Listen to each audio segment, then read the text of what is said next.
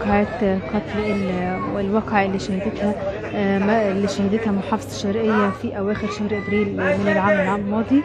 وقعت واقعة آه، قتل سيدة لابنها البالغ من العمر خمس سنوات. النهاردة كانت أولى جلسات محاكمة المتهم هناء